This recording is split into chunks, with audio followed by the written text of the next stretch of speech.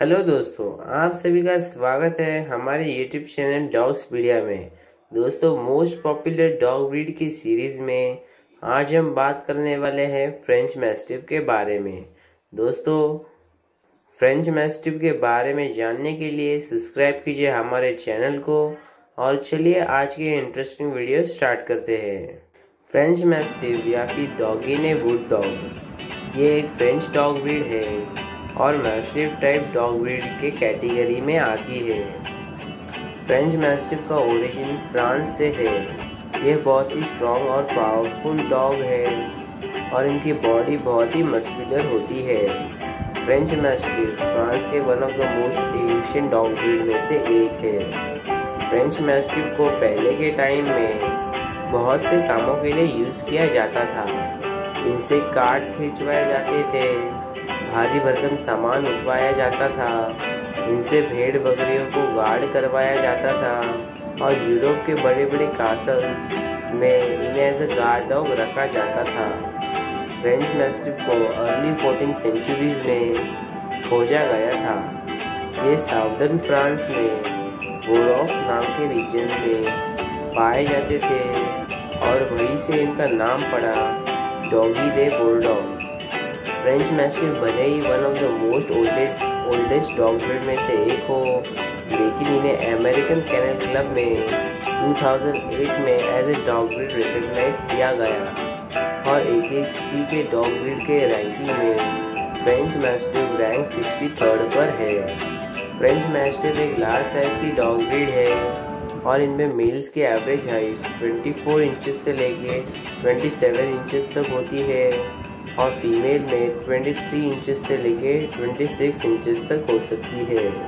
अगर इनके वेट के बारे में बात करें तो मेल्स का एवरेज वेट 68 केजी तक हो सकता है या फिर उससे ज़्यादा भी हो सकता है। और फीमेल्स का एवरेज वेट 57 केजीज या फिर उससे ज़्यादा भी हो सकता है।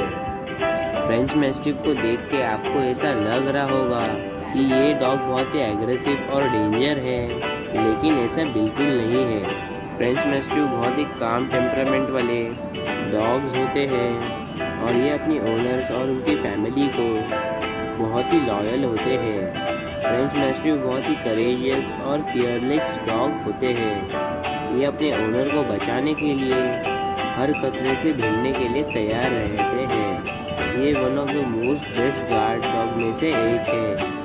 और ये छोटे बच्चों के साथ भी इजीली रह सकते हैं। इन्हें बचपन से ही छोटे बच्चों के साथ रखें, ताकि इन्हें बड़े होने पर ज़्यादा कुछ प्रॉब्लम ना हो। और अगर आपके घर में बहुत ही छोटे बच्चे हैं तो इनके बड़े साइज़ के वजह से बच्चों को थोड़ा सा सेफ़ रखें।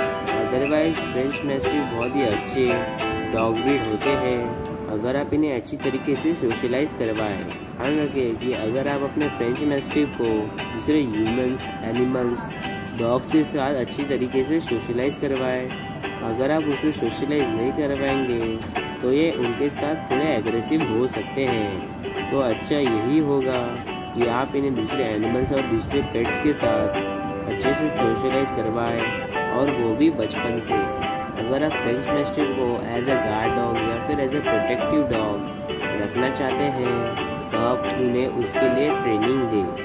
ये बोला जाता है कि फ्रेंच मैस्टिव का head size according to their body सारे डॉग ब्रीड में से सबसे बड़ा होता है और उनके जॉ मसल भी बहुत ही पावरफुल होते हैं। फ्रेंच मैस्टिव को रेगुलर एक्सरसाइज और हर रोज़ कम से कम दिन में दो बार लंबी वॉक की ज़रूरत होती है।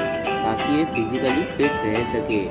और गर्मियों के मौसम में इन्हें फ़िज़िकल एक्सरसाइज ना करवाई जाए। फ्रेंच मेस्टिव का litter size four to six puppies तक होता है। इनके बड़े साइज़ के कारण इनकी लाइफ स्पैन भी बहुत ही कम होती है। इनकी एवरेज लाइफ स्पैन फाइव से लेकर एट ईयर्स तक होती है। इनका शॉर्ट कोट होता है और इन्हें ग्रूमिंग की बहुत ही कम ज़रूरत पड़ती है।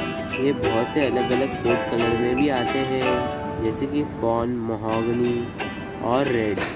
इन तीनों कलर के डार्क और लाइट शेड में भी आते हैं। तो दोस्तों, ये था हमारा आज का एपिसोड फ्रेंच मैस्टिव के बारे में।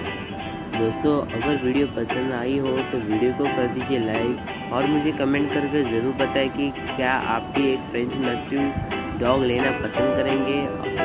क्या आपको फ्रेंच मैस्टिव डॉग ब्रीड पसंद आई है या नहीं? मुझे कमेंट करके ज़रूर बताएँ। मिलते हैं दूसरी किसी वीडियो में।